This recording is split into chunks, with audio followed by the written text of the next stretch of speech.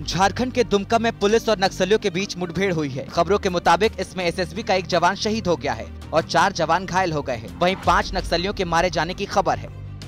गंभीर रूप से घायल जवान को बेहतर इलाज के लिए हेलीकॉप्टर से रांची भेजा गया है। अन्य घायल हुए तीन जवानों का इलाज दुमका सदर अस्पताल में चल रहा है। इसके अलावा पाँच नक्सलियों के मारे जाने की भी खबर है।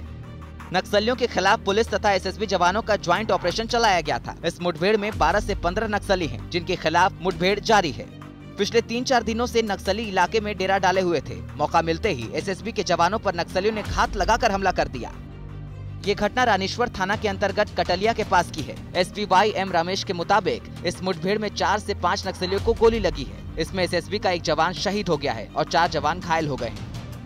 अभी हमारे सर्च ऑपरेशन चल रहा है और लगातार वहाँ पर हमारा फोर्स डटे हुए हैं और एकदम नक्सल पूरा घेर घेर के रखे हुए हैं और हमारे फोर्सेस वहाँ पर लगातार ऑपरेशन चल रहा, चलवा रहे हैं। अभी सर्च ऑपरेशन चल रहा है, वो भी, अभी भी फायरिंग का संभावना है तो इसीलिए प्रिकॉशनरी मेजर्स पे जो है हम सर्च ऑपरेशन करवा रहे हैं। और जैसे ही हम जो ये ऑपरेशन जो है कंटिन्यूस रहेगा, और नक्सल गिरे हुए हैं और उनको मार गिराएँगे इसके अलावा उन्होंने ये भी बताया कि नक्सली मुठभेड़ में घायल एसएसबी जवानों को बेहतर इलाज के लिए हेलीकॉप्टर से रांची भेजा गया है।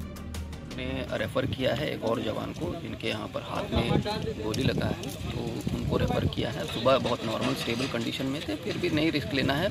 बेटर इलाज के लिए डॉक्टर ने रेफ़र किया है और उनको रांची भेजा गया है।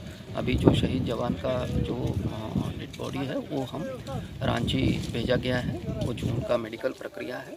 उनको रांची, यहाँ पर सुविधा नहीं है तो रांची में सुविधा है। तो वहाँ पर मेडिकल का एम्बालमेंट होने के बाद जो है उनको अपने पैतृक गाँव में। इस नक्सली हमले में असम के जवान नीरज छत्री शहीद हो गए हैं। शहीद जवान नीरज छेत्री को श्रद्धांजलि देने के लिए उसके पार्थिव शरीर को एसएसबी मुख्यालय रांची ले जाया गया।